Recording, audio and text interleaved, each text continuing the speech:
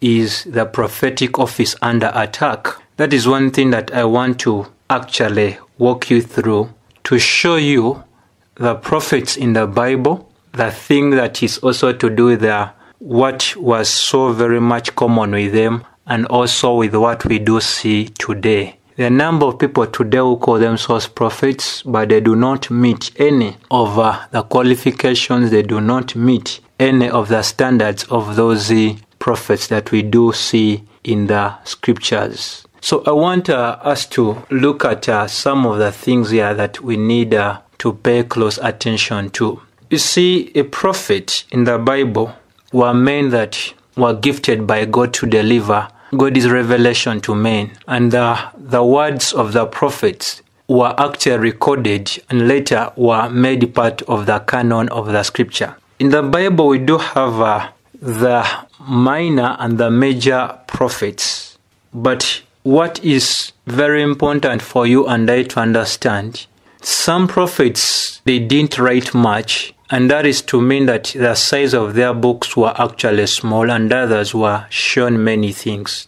But independent of the size of the book, I can actually say to you that uh, just like you see in the New Testament, the book of uh, Philemon and Jude, they are as much inspired as First Corinthians and actually Romans. So that is not for any person to say, you know what, now, since uh, so and so is categorized under the minor, that is to the teaching as far as the theologians are concerned. But before God, they were receiving from the same source. And since they were receiving from the same source, all of them were used of the Lord and their message was very substantial. They were picked in different seasons. They were picked in different time period and all of them, God used them to fulfill a particular purpose that He wanted to do what? To fulfill.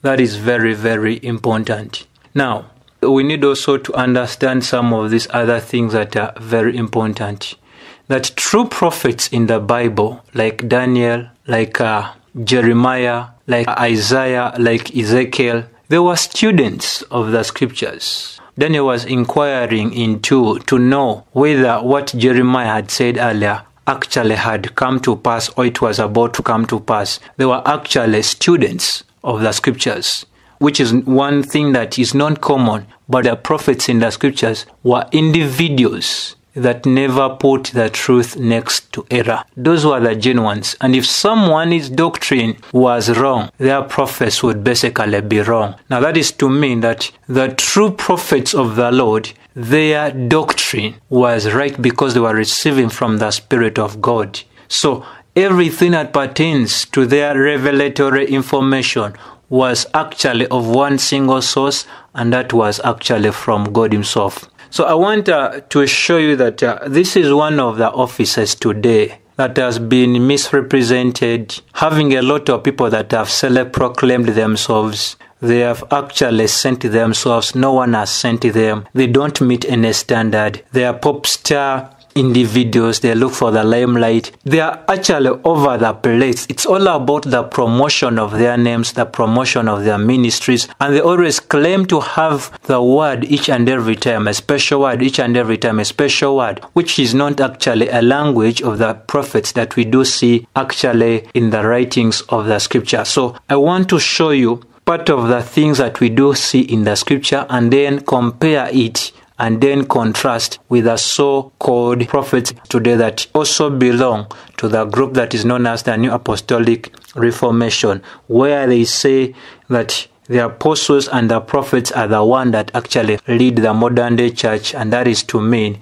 that uh, whatever we do have of those apostles and the prophets that the Lord used to write for us the scriptures, these individuals claim to have the same authority as those guys that uh, the Lord used to write what? The scriptures. Remember in the Bible, uh, the nature of the true prophets of the Lord, one thing that was characterizing their ministry, it was persecution. I have taught on several occasions from actually a number of different prophets, but the one I would actually highlight for you today is a man that is known as Prophet Amos. When you study something about Amos and how he was sent to the northern kingdom to go and give prophecy up there, something happened in verses 12 of Amos chapter 7. The Bible says, And Amaziah said to Amos, O seer, go flee away to the land of Judah and eat bread there and prophesy there. But never again prophesy at Bethel, for it is the king's sanctuary. It is a temple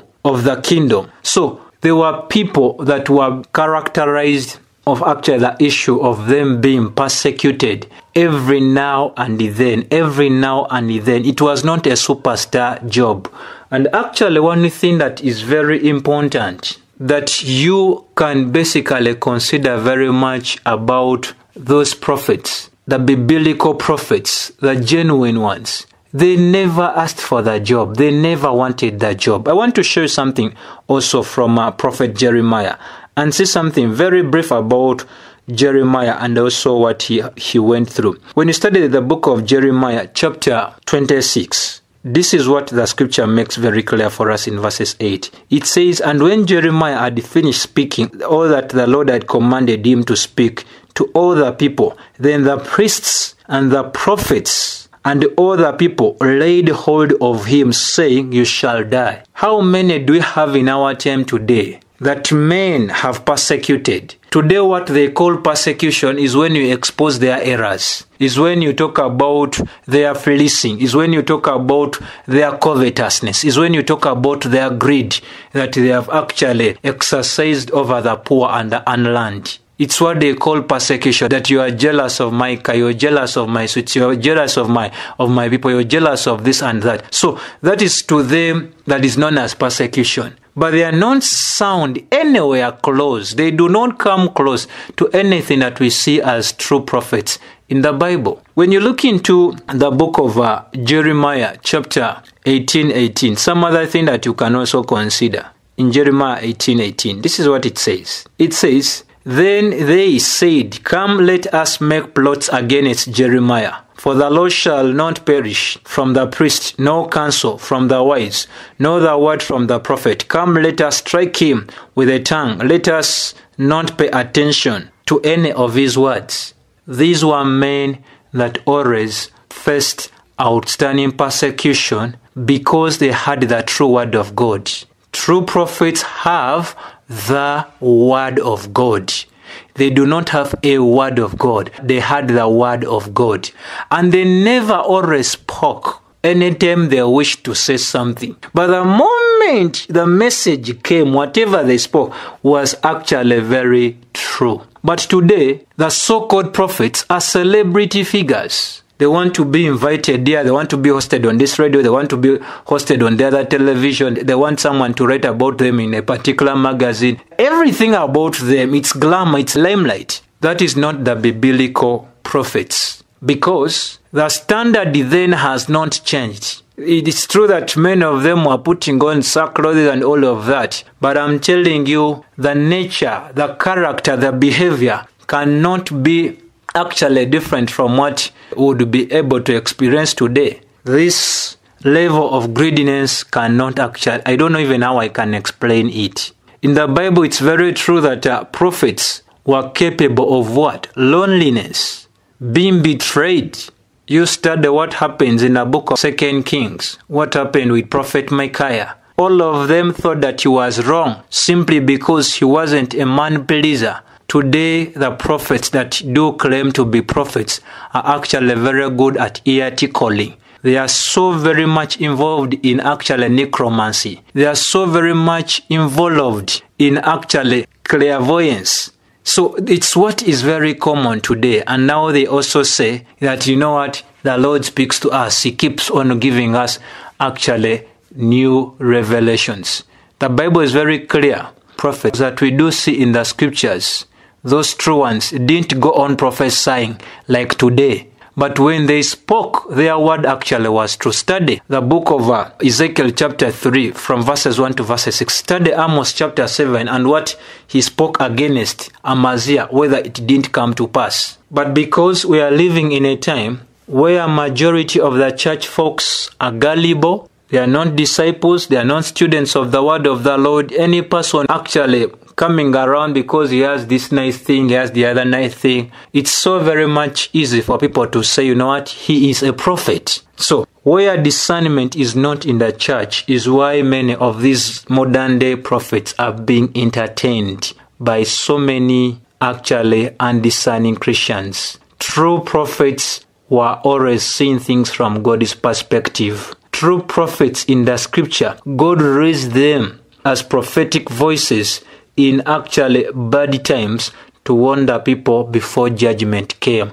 Today, what, what they are preaching is actually prosperity gospel is actually covetousness it is actually greed it is actually me gospel it is actually a self-centered gospel you can have this you can have this because they themselves are sold out into idolatry they preach idolatry they cannot confront the errors of the modern day believers and actually the church is where it is today because of these modern day prophets they are not sound in what they teach and they are not sound in their practice. So, what do you think can be true of those that do follow them? Majority of the church folks that are following them, they desire the same thing their false prophets do desire. All of them are greedy. All of them are actually with no contentment. They are talking about your best life now. And that is one thing that is very common. And uh, what the Bible teaches that we need to pay close attention to is that uh, when you look at the book of Second, uh, Peter makes it very clear like this. It says, "But false prophets arose among the people, just as there will be false teachers." So the warning wasn't to the unbelievers, but the warning was given to the mainstream church that then in the Old Testament time, there were so many false prophets but Peter writes on by the Spirit of the Lord, warning us that many will do what? Will actually come among us. And that is why we say that is the prophetic office under attack? Yes, simply because what is known as the prophetic office today, it is actually a household joke. They are continuing what is not in continuation. They know nothing about the canon of the scripture. When Paul was writing, he made it very clear. And uh, if any person has the wisdom to understand and the knowledge to put things in consideration, Paul writes in Ephesians 2 when he was talking about the sensation of uh, the apostolic office, he also talked about the sensation of the prophetic office. This is what he said in Ephesians 2:20, built on the foundation of the apostles and the prophets Jesus Christ Himself being the cornerstone. So, it is not only the apostolic office that is in succession, but also the prophetic office. Now, if we say that is the prophetic office under attack, that is what we mean. If we have a continuation of what is seized, of what is not in continuation, is why we have a number of modern day individuals. You see, if God seizes something, if God does not allow something to continue, and then we have another group that continues what God has put to a stop, it cannot be like that that was original because it's not being inspired by God, it's not being supported by God. You cannot do something well if God is not in it. You cannot have the excellence of something that God does not call you to do. You cannot perfect in doing something if the Lord has not called you to do it. You cannot articulate things well if the Lord has not called you to do a particular thing. And that's why we are saying that these individuals have made Christianity actually a household joke. There are people that we ought to do what? To separate away from. I want to show you a number of things that you may need to consider when you hear the so called prophets today. The prophets of the Bible call people to that which was already established. They never pointed people to the new direction if they pointed people to the new direction, it would not contradict with the rest of the Bible. Today, you hear the common anthem I see something. The Lord has revealed something to me. The Lord has shown me this. You're going to Dubai. You're going to China. You're going to begin to, to actually uh, import things from Guangzhou. You're going to go to Turkey. You're going to build this and this. You're going to, to buy this and all of that. All of that nonsense today is what is being called prophecy. It has nothing to do with the agreement of the rest of the scriptures. It does not edify. It does not bring comfort. It does not in any way meet any standard of what is known as the biblical prophecy. But today, simply because people have shunned away from seeing the canon being closed to always wanting to have a new thing, a new revelation, and all of that, they do not know that they are under the spell of First Timothy chapter 4 beginning with verses 1 which says that now the spirit expressly says that in the latter times some shall depart from the faith. The faith the word faith is the same thing as doctrine the same thing as instruction is the same thing as teaching. By devoting themselves to deceitful spirits and the teachings of demons so People are under the teachings of demons saying that they are being prophesied upon, that they are being given prophecies, which prophecies do not align with anything that we do have as biblical example of what is known as sound prophecy from the scripture. You see the danger. You see, according to the Bible, when you look at the different individuals that received visions and dreams, the Bible is so very much clear that not everyone who received revelation, everyone that had a dream or a vision was a prophet. On several occasions, Pharaoh received visions, he, received dreams. Abimelech in Genesis 20, he also received actually a revelation. But I'm telling you, that didn't mean that Abimelech was a prophet of God or Pharaoh was a prophet of God. No way. During the time of, uh, of Gideon, these were the very things that were actually happening. You remember very much well that uh, when one actually follows what we do have in the scripture, one cannot go wrong. Scripture does not allow all late prophets to practice. Scriptures does not allow or let anyone that calls himself a prophet to practice like Bethel School of Ministry teaches that practice makes perfect. That if you have no any prophecy, you can make it up. That is what they do. But I'm telling you, when we talk about the prophetic ministry, it was a revelatory office. They were receiving direct revelation from God, is what basically those individuals had.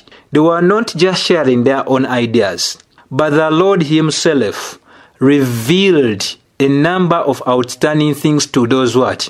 To those individuals that were actually prophets. When we study the scriptures very well, everything that concerns what we call uh, one receiving a direct revelation, it was always God giving them things. It was not them concocting, it was not them actually sharing their own ideas. We shouldn't allow statements like, The Lord has told me, I see something, I hear a sound. The New Testament writing is complete, and the Bible is not what? Any open canon.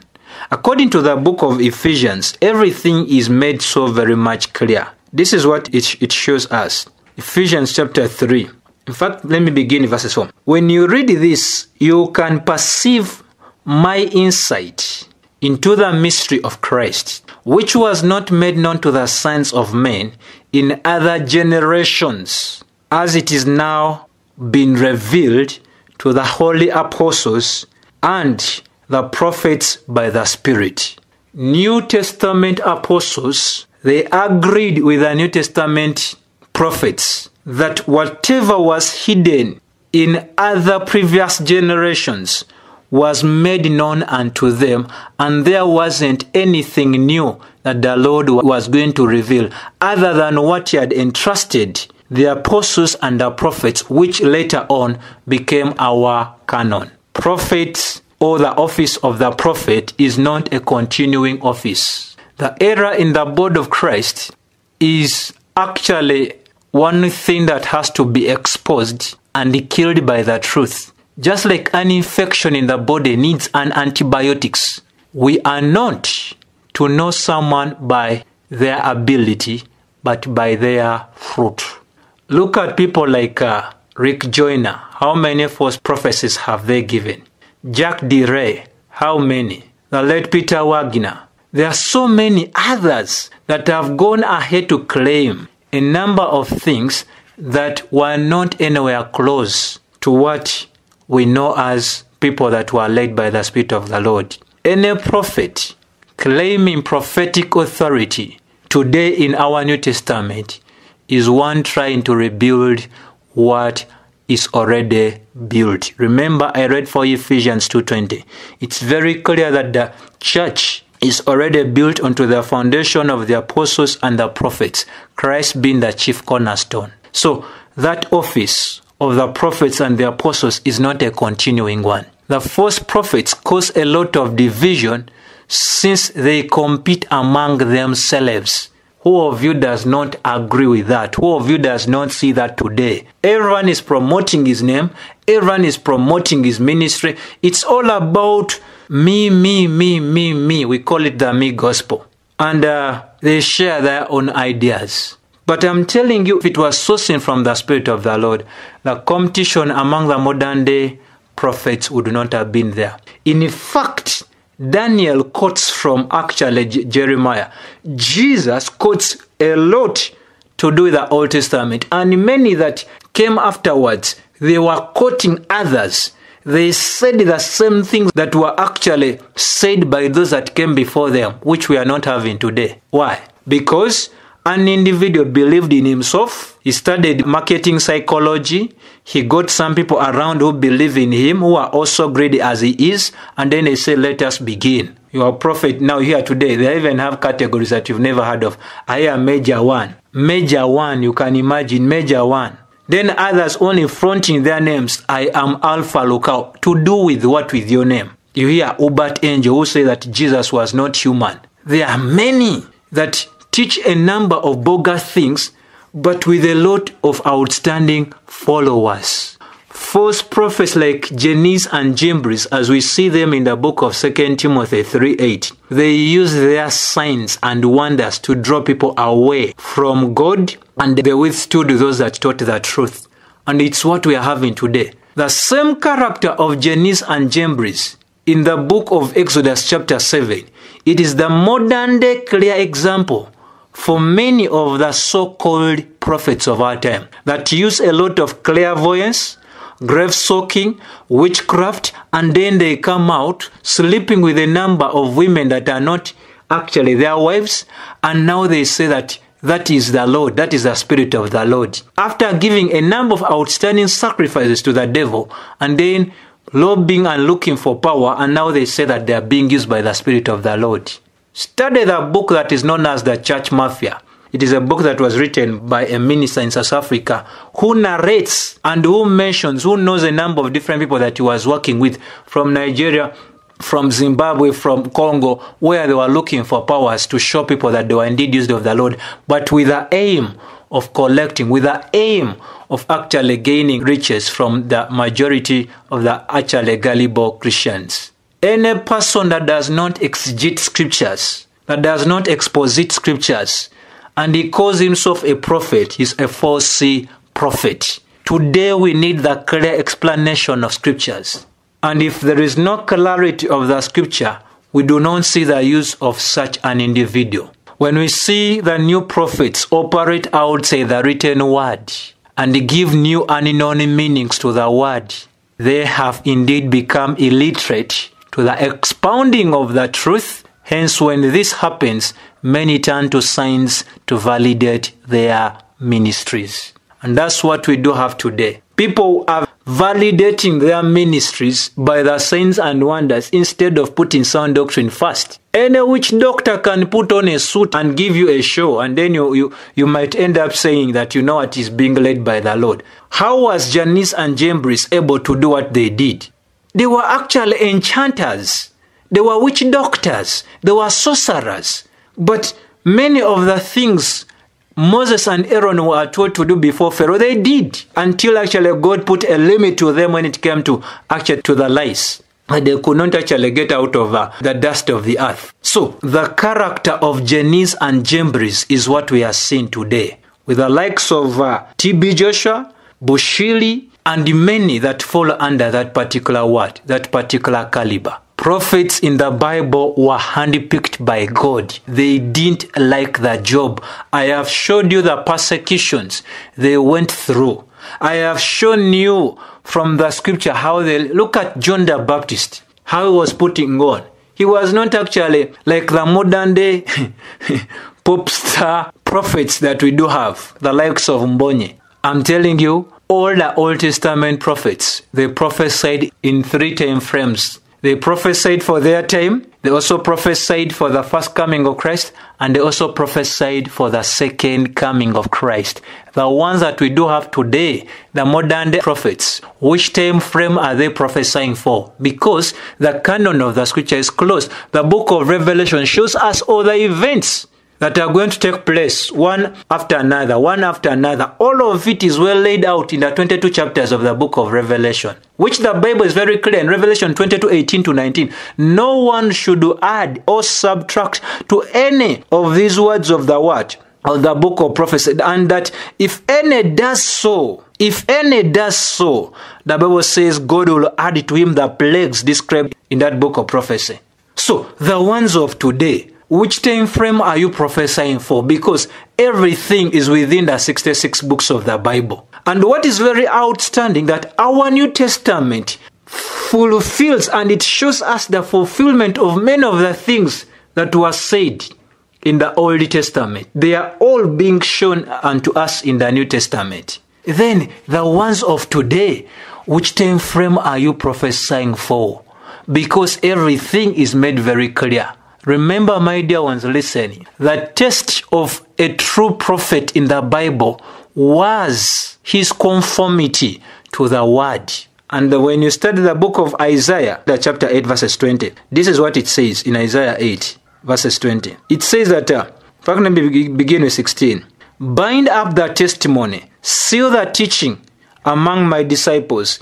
In verses 20, it says, To the teaching and to the testimony, if they will not speak according to this word, it is because they have no dawn. That is ESV. But when you use the King James Version, it says, It is because there is no light in them. You that are listening to this teaching, any person that is not teaching, that is not conducting ministry according to what is written, just know they have no light in them. They are not true prophets. They have actually self employed themselves. They have their own cycle funds that are presented them there. A true minister of the Lord has nothing to say other than that which is in the scripture. Today, one desires the office of being a prophet or an apostle or pastor and joins some prophetic school and learns how to prophesy and some some pay money to become what they want and they ordained just like I've told you with the Bethel School of Ministry you pay some good dollars they take you through some classes they teach you how to make a prophecy. If you don't receive something just make one. And then tomorrow you start the ministry. You also get spiritual sons and then you also teach the same thing that you learned from uh, bethel school of ministry and many here in our african countries today. And then you are a prophet. But the ones who are claiming that they know nothing about the whole counsel of god's word they know nothing about the the right dividing of the scripture. They know nothing that is to do with Jude 3, which say that we should contend for the faith that was once given. They know nothing about the apostolic doctrine. They know nothing about the book of Revelation, how it warns people not to say something or to add anything that has already been given. You hear them say, I see something, I hear a sound. Actually, I had this dream, I had this vision, and all of that. That is what you hear today, that is very common. And people, hey, hey, because someone has put on a new suit, he has a lot of cars around, he has actually a huge following, there is money there. That is actually one thing that automatically validates that the Lord is with this person. But I'm telling you, even the followers themselves are being deceived as that individual is deceived. Remember what actually Paul warned the Corinthians about when he was telling them about some of the things that they had to be very careful about in First, Second Corinthians 11, 13. He told them something that actually stands true also for the prophets. He said, For such are false apostles, deceitful workers, transforming themselves into apostles of Christ. And no wonder for Satan himself transforms himself into an angel of light. Therefore, it is no great thing if his ministers also transform themselves into ministers of righteousness, whose end will be according to their works. You think God does not see all of that coalition of the apostles? He seeth them. But there is that time of reckoning that, that actually awaits them. I'm telling you, my dear ones, Today, God is not speaking to anyone directly. I'm saying it again. God is not speaking to anyone directly by giving them new revelations. Whoever claims new revelation is self deceived, and those that follow him are actually also deceived. Isn't that the same warning that we have in 2 Timothy chapter 3 when Paul was talking about how the, the latter terms would appear like? In 2 Timothy chapter 3, verses uh, 13, it says, But evil men, talking about the modern day apostles, the modern day prophets, all of those that do not abide by that which is already written. He says one thing, but evil men and impostors will grow worse and worse, deceiving and being deceived. So if any person claims to have new revelation, he's not only self deceived, but even they that follow him are actually self deceived times a number that I may not be able to actually enumerate. It's what we are having. The scriptures are very much clear. The things that you and I should consider as far as the standard for the true prophets of God in the Bible. The number one thing that was actually very peculiar there had to be moral integrity. All prophets of the Lord, they had to have what is known as moral integrity. You could not meet them in the thing of actually taking advantage of the poor one. You could not find them in sleeping with other people's wives. You could not find them in the issue of actually fleecing the poor ones, taking advantage of the online, t- taking advantage of the weak, and all of that thing of, of claiming whatever they were not moral integrity. Look at Jeremiah. Look at Ezekiel. Look at Daniel. Look at Amos. Look at Isaiah. These were fine men. Prophet Micaiah. They didn't go around announcing, you know, so and so is coming around. So and so holds a meeting every every every every Thursday, every Tuesday, every Saturday, every what and what. You can catch him here, you can catch him the other side, and all of that. They were not trumpeters. They didn't go around boasting how they have this, they have this and saying things that, that they were not sure the Lord was leading them to say. Moral integrity. But with this thing today that we are seeing, where even the list of the things that people do have, they want it. People who are thieves, bring all your tithes, that we, we can teach you prophecy on demand. I hear seed faith. I hear the prophet is seed, allowing people to kneel before them to kiss their rings, to kiss their shoes, to kiss their feet. I'm telling you, there is no any moral integrity with the modern day so called prophets. They are not. They claim to prophesy in the name of Jesus of the Bible, but their lifestyle contradicts scriptures. There is no moral integrity with our modern day prophets. These are liars. These are people who are self deceived. These are people that ascribe to themselves the power that was never given to them, and they are the ones who are making Christianity to appear like a, household joke, but with a number of unlearned followers. Standard number two that has not been changed even in the, in the New Testament is what we call doctrinal orthodoxy. Doctrinal orthodoxy. Right doctrine. Sound doctrine. Every time you hear these people believing in issues to do with positive confession, speaking things into existence, saying that they have unlimited faith, saying that believers cannot fall sick, saying that believers cannot face any physical challenge, calling themselves little gods. Eh? You hear them say that. And then you hear them moving on with the idea of uh, promoting I hear, women apostles, women prophetess, and all of that. Just know that if their doctrine is wrong, even their prophecy cannot be true. I'm saying it again. If their doctrine is wrong, that simply means that even their prophecies cannot be true. When one's doctrine is wrong, even the prophecy is wrong. They only share their imaginations and they call it revelation from God. They call themselves prophetic snipers, yet they are seeing nothing. Their own thoughts, their own dreams, the sound in their mind is what they say it is prophecy. Moving around, studying people's information on Facebook, and now tomorrow they say that they are prophesying over your life. They have read everything concerning you. They know you meet in their fellowships.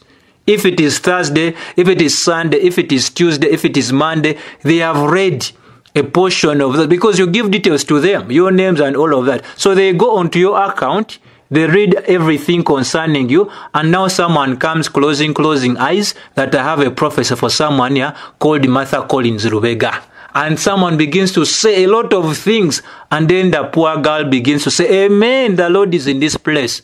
And what is going to be left of that girl is only to do what? To give in even the little thing that she does have, to obey the so called man of God. My dear ones, I want to let you know I have no any ill thing against an individual. But one thing I want to make so very much clear that controversy is necessary where the truth matters. Some of us say these things because others are not willing to say them.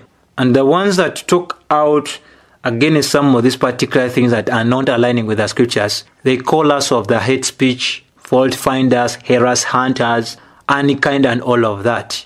We need our believers to contend for the faith. We don't need our believers to be pretenders in faith. Right doctrine is very, very important.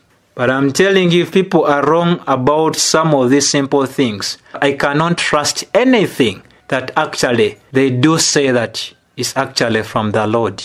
The doctrine is very clear. The apostles and the prophets, they did their work. The offices are not in continuity. Then you say that you're a prophet. Then how should I relate with you?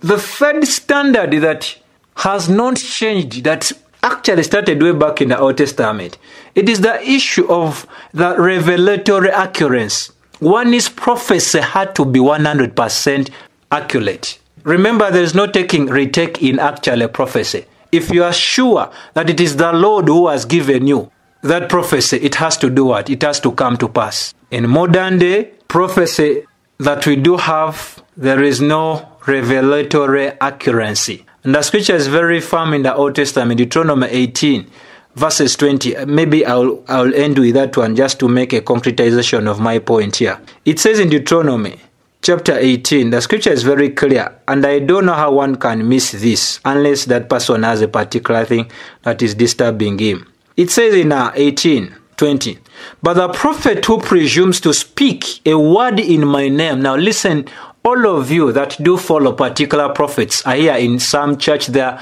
I hear on a particular cable TV, I hear They do actually have a meeting nearby your home and all of that sort. Listen, how do you know the true prophet? Bible says, But the prophet who presumes to speak a word in my name, which I have not commanded him to speak. Oh, who speaks in the name of other gods, claiming to speak actually as being led by the Spirit of the Lord, that prophet shall die. And if you say in your heart, it's an answer to all of us. This is a question we all have. This is a question that majority of the people would be having. How do I indeed know that this person is called of the Lord? That the Lord spoke to him. Bible says, and if you say in your heart, how shall we know the word which the Lord has not spoken? It says in verse 22, when a prophet speaks in the name of the Lord, if the thing does not happen or come to pass, that is the thing the Lord has not spoken. The prophet has spoken it presumptuously. You shall not be afraid of him. That's why I'm not afraid of the modern day prophets. They are nobodies.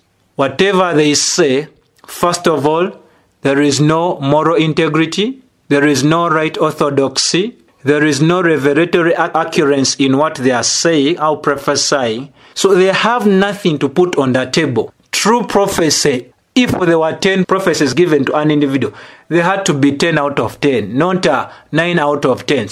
I mean a 9.5 out of 10. No, 10 out of 10, not 7 out of 10. 2 out of that, that one will qualify an individual to be stoned. Today, what do we do? The scripture is very clear.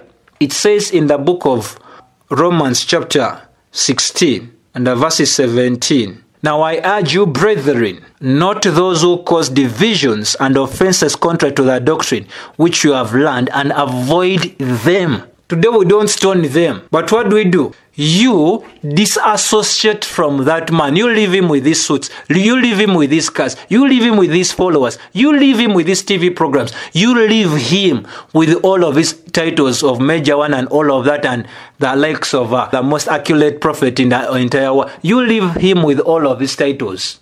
Don't go near him.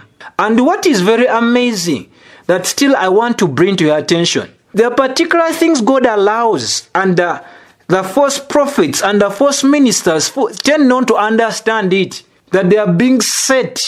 Look at what happens. The Bible says something here. If there arise among you a prophet or a dreamer of dreams, look at that. If there arise among you a prophet or a dreamer of dreams, and he gives you a sign or a wonder, and a sign and a wonder comes to pass, comes to pass, there is a possibility. Look at that. Of which he spoke to you, saying, Let us go after other gods, which you have not known, and let us serve them. Look at verse 3. You shall not listen to the word of that prophet or that dreamer of dreams, for the Lord your God is testing you to know whether you love the Lord your God with all your heart and with all your soul. Some people, God just allows them to have particular things come to pass, but because God actually, that is how He exposes that false minister, and that is how He also picks out those that were genuinely following Him, those that are obedient to Him that will not follow such a person. The rest who may not be knowing this that I've shared. They say, but He said this and this and it came to pass. The question is, how about the issue that is to do with this doctrine? Does it contradict the rest of the scripture? Okay, it has come to pass, but how about his teachings? Do they agree? Because even the devil can give a prophecy to an individual and it comes to pass. But the doctrine of the devil cannot agree with the rest of what we have in the scriptures. So it's not one thing that you should look out for. It's not only the morality issue. It is not only the revelatory accuracy, but also the issue that is to do with the doctrine. Ah, me, I don't care about that. I have never had him in scandals. I've never had him in scandals. That one actually, according to what Kenneth you've shown us, the guy is, is morally right. The guy is morally right. I know other things he has actually, he's wrong, but I'm telling you his morality is okay. Is it not true that having one piece can make him right? All of them have to be there. It's the Bible. And if you want to take issues with me, I'm telling I'm a wrong person that you should take issues with. Go to the word and see these things are there. I do not just have enough time to take you through the book of Jeremiah, but the book of Jeremiah is actually is so very much outstanding onto this issue. Let me just give you a taste of this. Jeremiah 14 14.